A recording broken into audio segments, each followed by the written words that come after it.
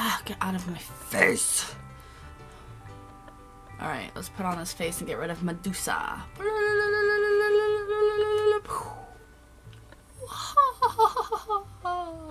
That was creepy. Papakala. Papakala. Alright, hello, how are you? How's it going? Yes, yes, yes, we're gonna do this. That was very motivational and I don't know why. Don't mind the demon residue. I just had an exorcism last night and things seem to be going well, but you know, there's always a little residue after an exorcism. It's just how it goes. Watch the movies. I'm going to start off with the Maybelline Better Skin Concealer just to put underneath my eyes. I love it. We know this, Niki. Shut up. I just got this random beauty blender in the mail the other day. I wasn't expecting it. Uh, I don't know who it's from. There was no note. There was no nothing. I mean, it came in a package, you know, so it was like legit. Someone didn't just send me their dirty ass beauty blender. But, um, I don't know where it came from. That happens a lot because of my product reviewing. I have my address hooked up to my Amazon account and things like that. So companies sometimes will just send me randoms.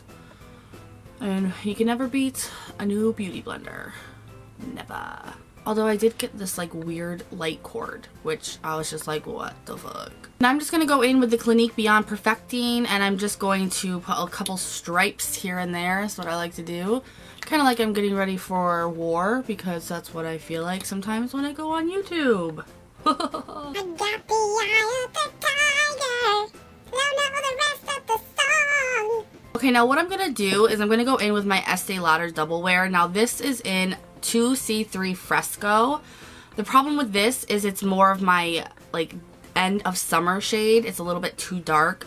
So what I'm going to do is go in with something so awesome. I just got this in the mail recently. And this is the Body Shop's Shade Adjusting Drops. Now these are for lightening your foundation. I also have the drops for darkening your foundation. Which I don't know if I'll ever need these. But it's really good to have on hand. But these, they are $20 a piece. So they are cheaper than like the Cover FX, you know, stuff like that. But they work amazingly. So what I'm going to do is just put a little bit of this Estee Lauder on the back of my hand. Ooh. Or a lot of it. Whatever works. And then I'm going to take this, and it's got a dropper, so I just take a little bit here, and I just drop it on into the foundation, and then mix that around, and it's perfection. They These drops do run a little pink, so also if you have a foundation that is a little orangey toned and you're not quite orange toned, this will work perfect for you. sounds like someone's farting. Oh, it makes it the perfect shade too. And then I just go in. And it went from being an orange nasty mess to being perfection. Da -da -da perfection. Too much coffee. Just just too much coffee. That's that's all I have to say about it. You know, we can move we can move past it. I just can't tell you how happy I am with the Body Shop's shade adjusting drops. Like they don't affect the foundation whatsoever. Like whatsoever. I don't even know if maybe they make it better. I'm not sure, but I have oily skin and it doesn't affect that. It doesn't affect it whatsoever. The foundation, what I use, it just merely fixes the shade. And I'm just like, oh, I am no longer going without these because I have so many foundations in my inventory that I can't use that I love that work the best for my skin because they don't match my skin. They're more like summer foundations. So now I'm just like, yep. Now I can finally use stuff in my inventory. So the Body Shop just saved my ass. Alright, now I'm going to go in and set this. And I'm going to use the IT Cosmetics. And this is the Bye Bye Pores Poreless Finish HD Micro Powder. And I'm also going to use my Mikasa Powder Brush which I love. I just bought this. I bought it with my own monies. Yes, I did. I love it. It is the F100. It's so big, so fluffy, so amazing. But with the Estee Lauder and then using the IT Cosmetics powder, which is very, very like, just goes everywhere. It makes a mess, but it's so good. It's so worth it. So I've been using that together and it's making my face look so good that my husband is even like, wow, your face looks flawless. Which is not something he normally says because he doesn't care about makeup. So, you know, just don't breathe when you do this. That's all I gotta say. Don't breathe. I wish this powder didn't make such a mess, but it is so good. I really want to try the pressed version to see if it's the same. Because if I could just get it not making the mess, I would be in heaven, you guys. All right, now it is brow time. I'm gonna take my Beauty Junkees brow brush and just brush out my hairs. Hope my camera's not cl clickety clacketing. We know it likes to do that. Pretty sure it is. Pretty sure I hear it. Pretty sure you do too. Now what I'm gonna do is I'm gonna go in with the Anastasia Beverly Hills Brow Pomade first. And I'm just gonna really do the back of my eyebrows with this just to shape them been trying to figure out a good way to do my brows lately and I'm telling you, there is no good way. There's just a cross your fingers and pray things go semi-good. Well, as always, one brow looks okay at the end and the other one looks very sad and chunky. Sounds like me and my sister. Not calling her chunky, I'm the chunky one. Now I'm going to go in with the Anastasia Beverly Hills and this is the Perfect Brow Pencil. Love this. And I'm just going to do the front of my brows. Because I'm high maintenance. I like the front of my brows to look a little bit more natural. And this pencil does that. Then I'm going to go in with the Anastasia Beverly Hills Clear Brow Gel. And just set these bad wolf boys. Alright, now I'm going to go in with the Milani Eyeshadow Primer. Just throw this on the lids, guys. Just toss it right in there. Now I'm going to go in with the single Wet n Wild shadow. And what are you in? You are in Creme Brulee. Just a skin tone colored single shadow from Wet n Wild. Very, very cheap. And I'm going to use this to set my primer.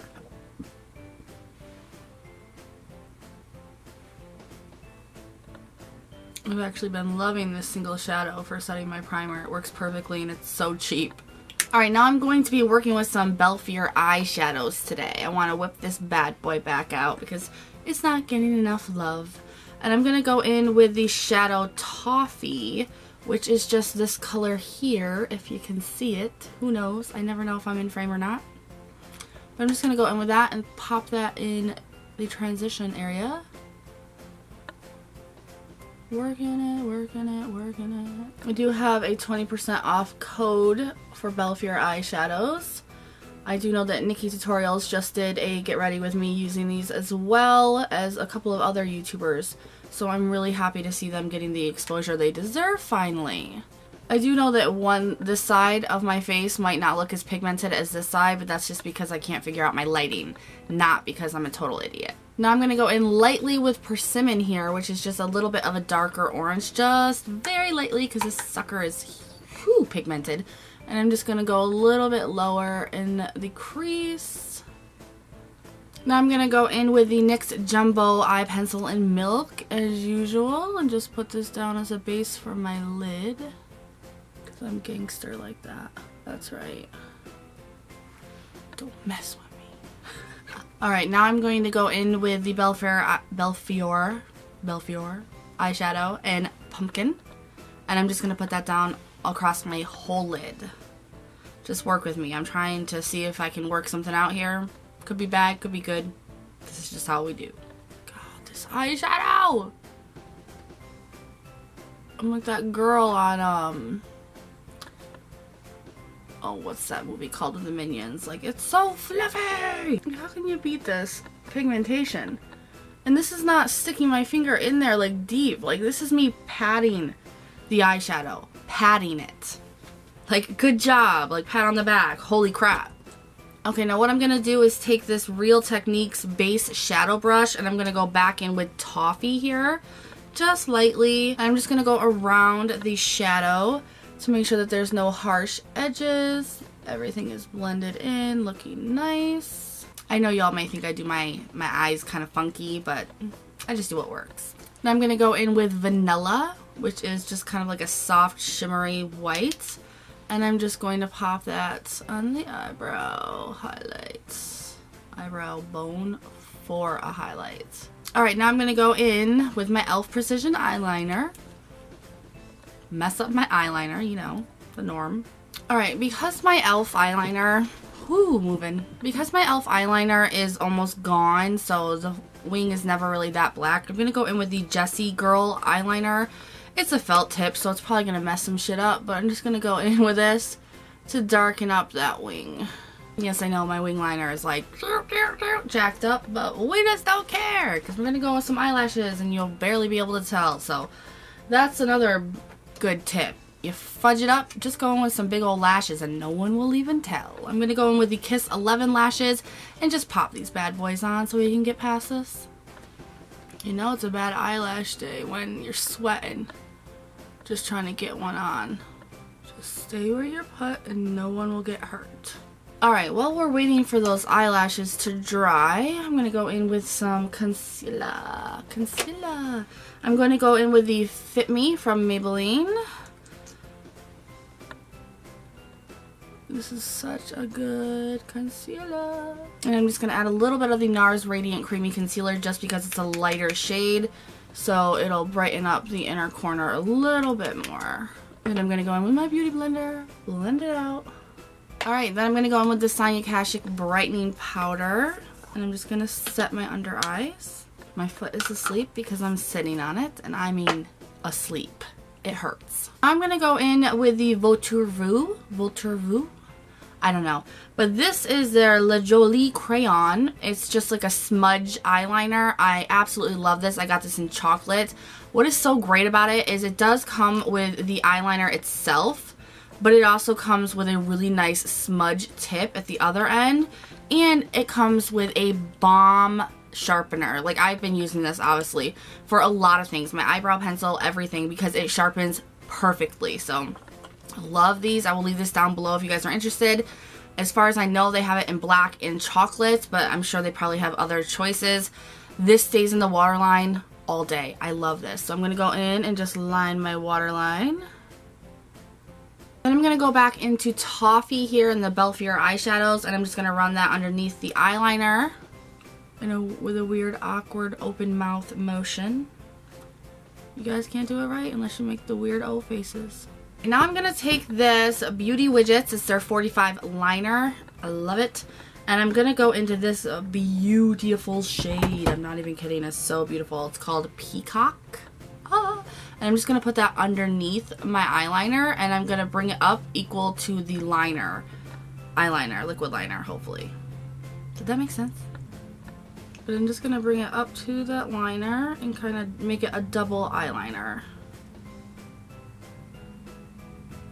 I've been doing this with Pops of Colors and I've been loving it.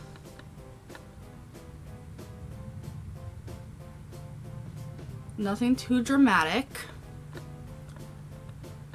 Just a little flare. Now I'm going to go back in with vanilla and just use this as an inner corner highlight.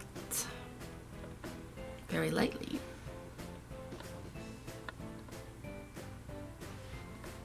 Maybe not so lightly.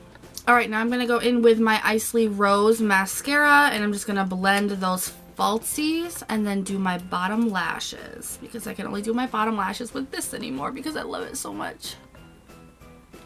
I love how this little precise mascara wand gets so close into my lower lashes. I love this. Now I'm going to go in with the Too Faced Chocolate Soleil and I'm not so much contouring as just kind of, I don't even know bronzing. I don't know what to call it. I mean, it's like contouring, but I'm not really looking for that totally sharp edge because I don't have real contour powder. Now I'm going to use my Mikasa blush brush, handy dandy, and I'm going to go in with MAC's Melba. I love this lately. I've just been using it constantly. And I'm going to put this on the backs of my cheeks first well, only. I'm not really going to put it anywhere else besides the backs of my cheeks. I don't know where I was going with that.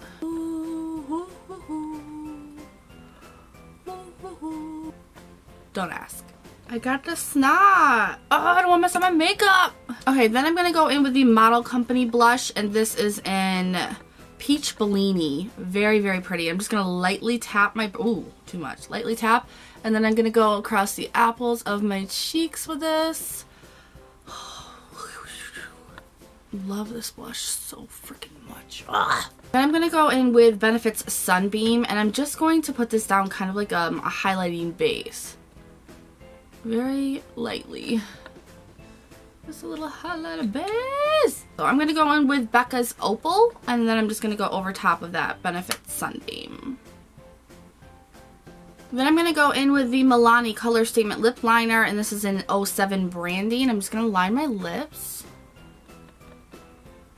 Then I'm going to go in with the Milani Amore Matte Lip, and what are you in? Adorable. It's adorable.